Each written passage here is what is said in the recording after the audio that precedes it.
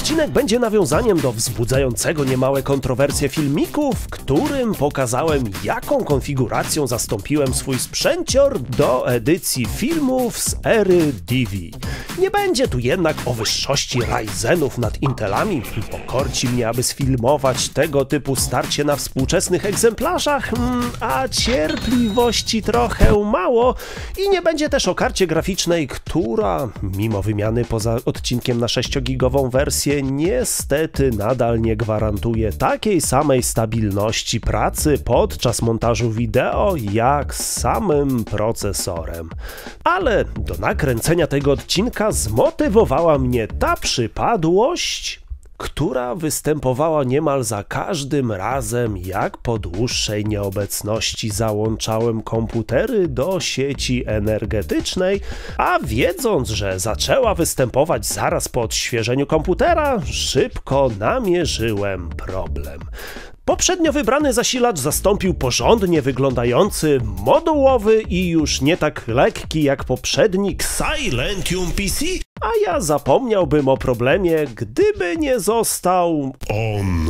Pewnie jakbym nie był sobą, to zamiast kręcić ten film, albo użerałbym się ze sprzedawcą, by udowodnić ukrytą wadę produktu, albo po prostu wcisnąłbym go komuś, licząc, że nowy właściciel będzie miał mocniejsze bezpieczniki w domu i nie będzie wyłączał z sieci swojego kompa. Ja jednak wybrałem nieekonomiczną, ale zgodną z naturą tego kanału drogę, czyli może teraz zapachnie trochę odgrzewanymi kotletami, bo przyjrzymy się, co kryje wnętrze. Dobrze spasowana skorupa po odkręceniu czterech śrub otwiera się bez problemów, wnętrze schludne, a dodatkowa folia izolacyjna, której może jeszcze odrobinę dałbym tutaj, podwyższa bezpieczeństwo używania konstrukcji. Oszczędność i niechęć do serwisantów daje o sobie znać dopiero podczas wyjmowania płytki, bo bez rozlutownicy bądź szczypiec dalsza zabawa byłaby co najmniej utrudniona. Sama płytka na pierwszy rzut oka sprawia pozytywne wrażenie, tym bardziej, że nie widać na niej cięć w kosztach w postaci paskudnie zazworkowanych lub pustych miejsc na niewlutowane elementy, a te zastosowane w konstrukcji wyglądają raczej na takie, które spokojnie wytrzymają nawet kilkanaście lat. A ponieważ nie jestem ekspertem, a tylko pasjonatem i cały czas się uczę lub próbuję to robić, więc nie zaszkodzi, abym ponownie podszedł do tematu budowy takiego sprzęciora, przy okazji próbując ustalić, co może być przyczyną wybijania bezpiecznika w tym egzemplarzu i odpowiedzieć na pytania, które sam w poprzednim odcinku zadałem. W konstrukcjach tego typu można właściwie wyszczególnić trzy zasadnicze obszary, w których wpływający prąd przemienny z sieci najpierw jest przetwarzany na prąd stały, aby następnie zasilić generator prądu zmiennego o znacznie wyższej niż 50 Hz częstotliwości. Tak przetworzony prąd następnie trafia do transformatorów separujących i obniżających napięcia do pożądanego, aby następnie po wyprostowaniu przez super szybkie dody prostownicze i po wygładzeniu przez filtry oparte na cewkach oraz kondensatorach, podobnie jak w zasilaczach z poprzedniej epoki, dotrzeć do docelowego odbiornika niskiego napięcia. Jakby ktoś się zastanawiał, zabieg zwiększania częstotliwości w tego typu zasilaczach nie jest jakąś tam fanaberią, a to właściwie dzięki niemu transformatory przenoszące tak duże moce wyglądają tak zamiast tak. To, co powiedziałem do tej pory, jest mocno uproszczone, bo nic nie wspominałem o układach stabilizujących napięcia, kontrolujących pracę czy zabezpieczających konstrukcję przed uszkodzeniem zarówno samej siebie, jak i przyłączonego do niej odbiornika prądu. I tak od strony przyłącza do sieci energetycznej znajdziemy elementy tworzące filtry, m.in. redukujące zakłócenia, bezpiecznik topikowy, teoretycznie odcinający układ przy zbyt dużym dużym przepływie prądu oraz warystor chroniący przed przepięciem. Wydawałoby się, że mnie nic już tutaj nie zaskoczy, a okazało się, że jeszcze z takim układem nie miałem do tej pory do czynienia. Jest to dość specyficzny scalak, bo wykrywa, czy na jego końcówkach podpięte jest napięcie sieciowe i w przypadku, jeśli je wykryje, powinien zachowywać się jakby go nie było, a w przypadku występowania tylko napięcia stałego zwierać swoje końcówki w celu rozładowania kondensatora, do którego przez dodatkowe rezystory powinien być równolegle podpięty. Przez chwilę nawet myślałem, że może on jest przyczyną wybijania bezpiecznika, ale wartości rezystorów, przez które jest wpięty i bezpiecznik, który teoretycznie powinien wybić pierwszy, wykluczają go z listy podejrzanych. Za tym dość rozbudowanym filtrem, podobnie jak w poprzednio prezentowanych konstrukcjach, podpięty jest mostek prostowniczy przekształcający prąd przemienny na jednokierunkowy, a za nim, ze względu na dużą moc zasilacza i wymogi urzędów, jest umieszczony bohater wielu spiskowych teorii, czyli układ korygujący współczynnik mocy. W dużym skrócie ma on za zadanie zlikwidować zjawisko wynikające z natury mostka prostowniczego spiętego z kondensatorem filtrującym tętnienia. Takie konstrukcje pobierają prąd z sieci tylko wtedy, kiedy napięcie na kondensatorze jest niższe od aktualnie występującego w sieci. W praktyce więc wygląda to tak, że bez tej korekcji przy prawie pełnym naładowaniu kondensatora pobór prądu występowałby tylko w tych momentach przebiegu napięcia sieciowego, co przy wielu takich odbiornikach wpiętych do jednej linii zasilającej narobiłoby sporo zamieszania. Ale może dorzucę trochę oliwy do ognia, mówiąc, że taki układ jak każda przetwornica napięcia nie ma stuprocentowej sprawności i myślę, że przy dłuższym używaniu takiego zasilacza liczba kilowatogodzin na liczniku może być wyższa w porównaniu do pozbawionej tego dodatku konstrukcji. Za głównym kondensatorem, gdzie obecne jest już wyprostowane i bliskie stałemu przetworzone napięcie z sieci, można powiedzieć, że tor zasilania rozdziela się na dwa osobne, z których jeden, ten mniejszy, jest aktywny nawet jak komputer jest wyłączony i dostarcza mu 5V napięcie potrzebne do zasilania układów sterujących głównym zasilaniem oraz podtrzymywania pamięci, jak komputer jest w trybie uśpienia. Drugi tor aktywowany jest przez sygnał od płyty głównej i teoretycznie poza przenoszoną mocą nie różniłby się on niczym od pierwszego, gdyby nie układy kontrolujące i zabezpieczające.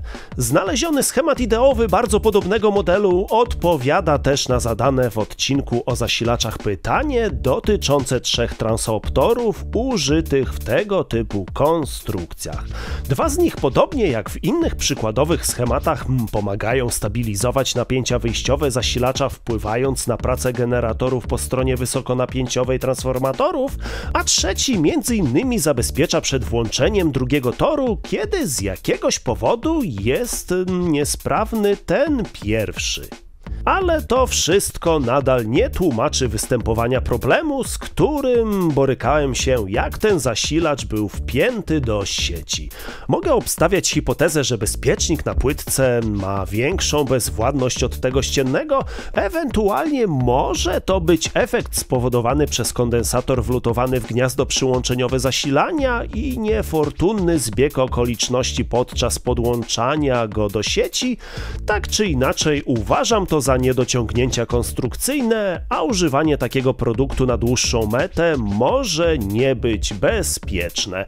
Konstruktorom zasugeruję tylko zbadanie pod oscyloskopem przebiegu poboru prądu podczas załączania takiej konstrukcji do sieci i być może przebudowanie wejścia zasilacza pod kątem tak zwanego soft startu. A jak ktoś by nadal myślał, że hejtuję i czepiam się p***ą, to powiem, że wybrany konkurent, a nawet starszy egzemplarz o tej samej mocy, jakoś nie mają tej przypadłości. A ja z racji, że sprzęcior nie nosi znamion zużytego, z czystą przyjemnością zrobię to, czego dawno nie było na tym kanale i zapowiadam, że nadszedł Czas na rozwałkę. Konstrukcje zawierające łatwiejsze do rozlutu spoiny ołowiowe już dawno zniknęły ze sklepowych półek, ale nie tylko temperatura topnienia materiału jest zmorą takich urządzeń, bo chyba największym problemem dla rozlutownicy są duże i bardzo dobrze odprowadzające ciepło ścieżki czy grube kable oraz radiatory. W takich sytuacjach pomaga dodatkowe podgrzanie konstrukcji, dzięki któremu rozlutownica mająca zbyt małą pojemność cieplną na takie konstrukcje nie będzie musiała podnosić temperatury w punkcie styku aż o kilkaset stopni. Praktyce czasami jest jeszcze problem gęstości stopionej spoiny, która jakoś niechętnie garnie się do rozlutownicy i aby taką dobrze usunąć z większych powierzchni, korzystałem z pokazanego już kiedyś patentu z Tinolem.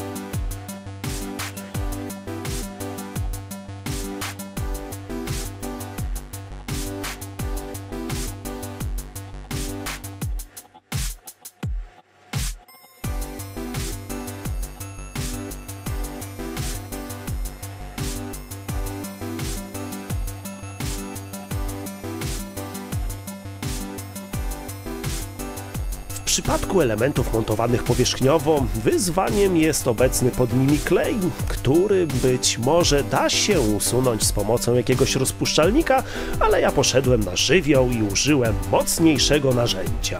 Ale muszę powiedzieć, że jego użycie wymaga doświadczenia w ocenie odcienia spoiny, bo zdecydowanie lepiej uda się wylot elementu, kiedy ta już będzie w stanie płynnym. I po kilku godzinach, które tradycyjnie podałem Wam w skondensowanej formie, z konstrukcji wydobyłem garść dławików, tranzystory MOSFET, diody prostownicze różnego rodzaju, w tym mostek, tranzystory, kilka układów scalonych, transoptory, kilka rezystorów, kondensatory elektrolityczne, kondensatory z dielektrykiem stałym, warystory, termistory oraz kable przyłączeniowe i obudowa. Wydawałoby się, że już nic nowego w takiej konstrukcji nie odkryję, ale testując sprawność elementów okazało się, że jednak byłem w błędzie. Patrząc na te elementy powiedziałbym, że są typowymi diodami Schotkiego, a wyszło, że zarówno tester elementów, jak i ja nie byliśmy przygotowani na tak rewelacyjne wyniki, których nie dałaby żadna dioda tego typu, ani tym bardziej typowa prostownicza. Odnalezione noty katalogowe jeszcze bardziej pobudziły moją ciekawość, bo nie dały pełnej odpowiedzi, jak te części są zrobione, ale w sieci odnalazłem taki zastępczy schemat.